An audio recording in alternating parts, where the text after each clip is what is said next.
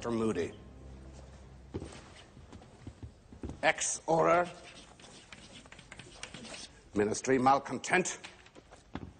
And your new defense against the dark arts teacher. I am here because Dumbledore asked me. End of story. Goodbye, the end.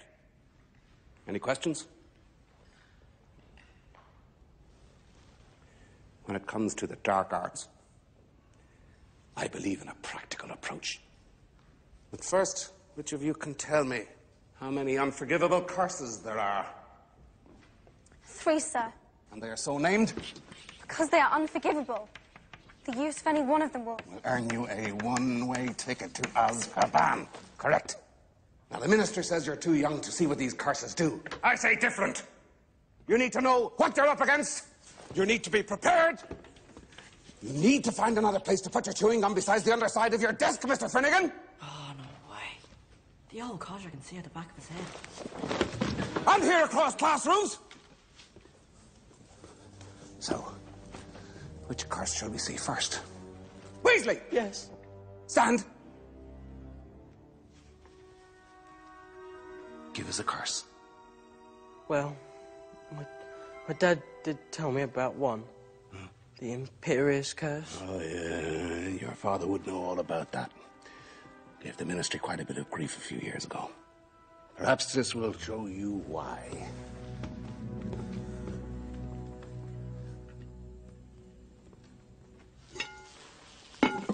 Hello. Lovely little beauty. Ambrosio. Imperio!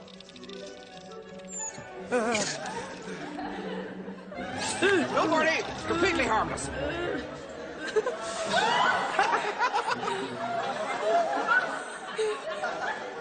if she bites, she's lethal. what are you laughing at?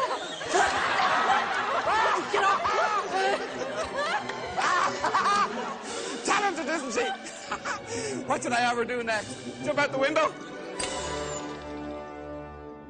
Drown herself?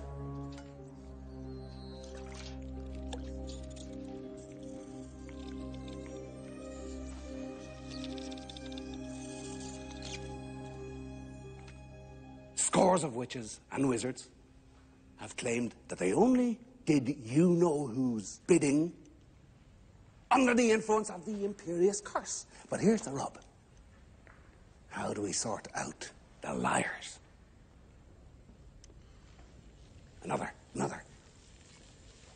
Up, up, come on. Longbottom, is it?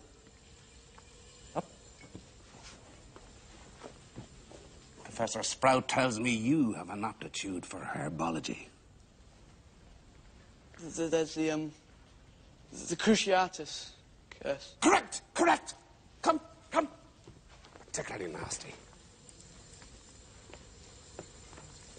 The torture curse. Crucio!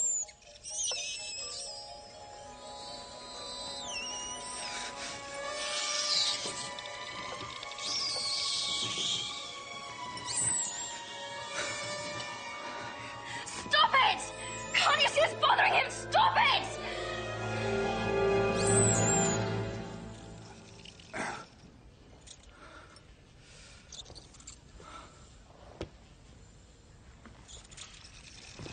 Um,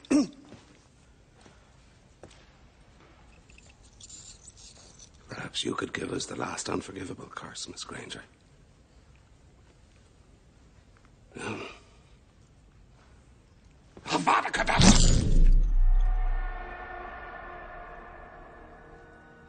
The killing curse.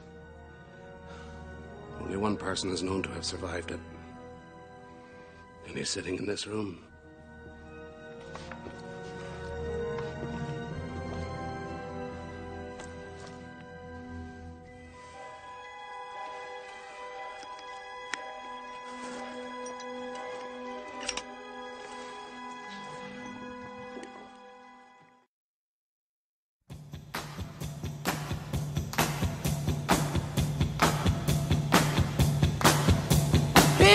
Come